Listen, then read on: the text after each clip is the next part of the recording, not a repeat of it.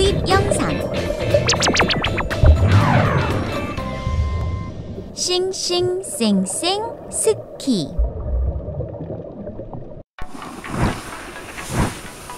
야호 신난다 프랭크 저기 좀 봐. 이야, 저렇게 높은 곳에서 싱싱 내려오네. 정말 멋지다.